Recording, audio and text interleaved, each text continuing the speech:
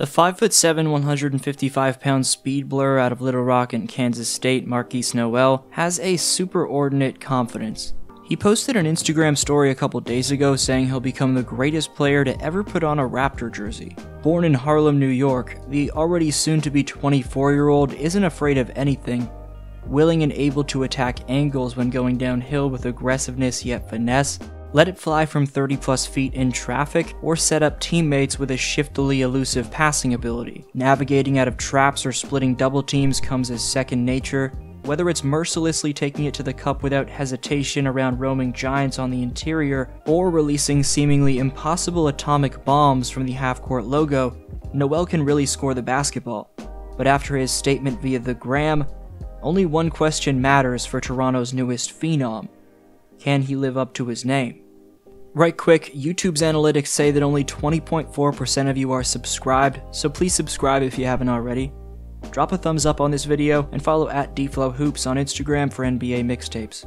Nowell dropped 54 total assists in the NCAA tournament, which were the most by a player since 1989. More notably, he set the all time tournament record for in game assists by a player, which occurred in the Sweet 16 over Michigan State, with 19 assists.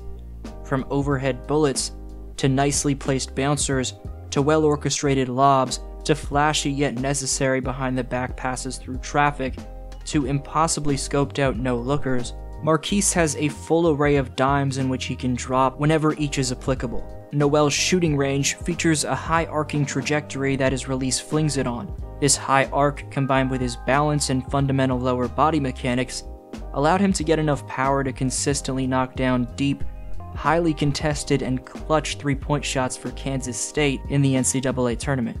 This deep shooting range extends the defense, draws opposing attention, and makes everything a bit easier for the rest of his game to flow.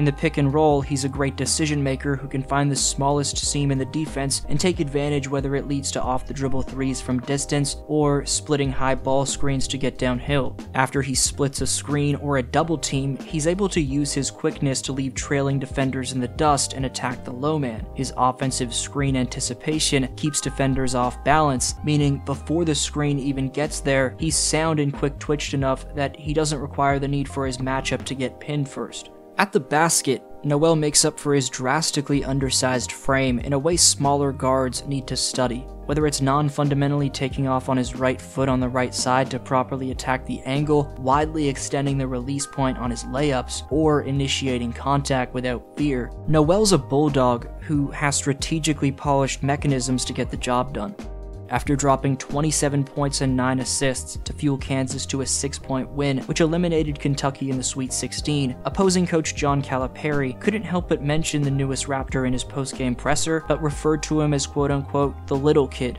we had a, did a pretty good job on Johnson, and he makes that three. And the little kid makes the three. How he he you know make a deep three. Then after dropping 20 points and setting the aforementioned tournament record of 19 assists in the Sweet 16, here's what his head coach Jerome Tang had to say about him. But we practice in a place of fire all the time, so he was ready for it. This is a bad boy right here. This is a bad boy. Before one of the dimes Marquis dropped in that record-setting performance, reporters were wondering what exactly he was saying to the crowd prior to crossing half court. A couple of people said before the alley oop to Keyontae, you looked at the crowd and said, "Watch this." Can you can you confirm or deny that? Dang, I gotta watch what I say. I mean, so I be in the zone. Okay.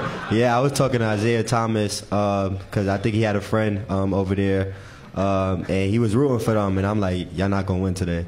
And I just kept looking at him for some, you know, added motivation. But you know, it was nothing but but cool vibes with um, them over there. So getting attention from an NCAA legend raved about by your own NCAA championship winning head coach, and chirping at an NBA legend sitting courtside, those three clips paint the picture that Toronto's next undrafted player had an easy go of it at the college level. Nothing can be further from the truth. After spending his first three college seasons at Arkansas's Little Rock, a school in the Sun Belt Conference, Nowell knew he needed to find a way to transfer to a bigger school to get the adequate scouting attention it would take to make the pros.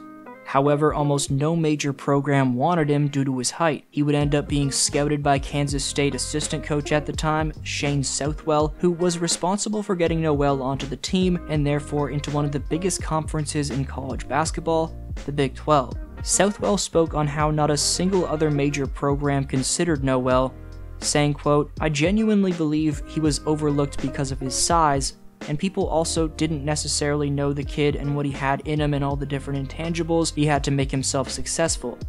He was getting better over time. He's even improved a lot over the past year. He was always known as a big time scorer, even back in his days at Bishop High School, a miniature guard that could get into the lane and create for everyone else. People didn't understand the heart of a champion he has. End quote. For the same reason major college programs passed on him, all 30 NBA general managers passed on him in the 2023 draft, his lack of both height and weight. This, plus the fact that, as I mentioned at the very start of another video I made covering Nowell just over a month ago, he was a five year college product. NBA GMs have established a predictable trend of not spending draft capital on players over 20 or 21 years old, let alone a near 24 year old. So, yet again, Nowell found himself on the outside looking in. No team wanted him, this time at the highest level. However, after getting picked up by the Raptors as an undrafted free agent, Toronto may be the best place for Marquis to maximize his potential. The franchise has been longing for a point guard that plays with Nowell's leave it all out there type heart and got that dog in him type effort ever since the departure of Kyle Lowry. Furthermore, the Raptors have embraced and developed the likes of many undrafted talents throughout the course of both recent and all time franchise history. From Jamario Moon to Jose Calderon to Chris Boucher, and most recently All Star Fred Van VanVleet, there's been a flurry of undrafted Raptor phenoms. Back in the 2019 20 season, Toronto had as many as seven undrafted players on their 15 man roster. The Raptors are also the perfect place for Noel because of the fact that he'll be entering a new system under a rookie head coach, Darko Rajakovic. And the Raptors also brought back one of the best player developing assistant coaches in the NBA, Jama Mahlalela. So, to the new men in charge, Nowell will be able to establish himself as one of the team's top alpha dogs right off the bat. Look for Marquis to be an elite backup behind Dennis Schroeder in his first year at the pro level, and potentially even challenge the German for that starting spot.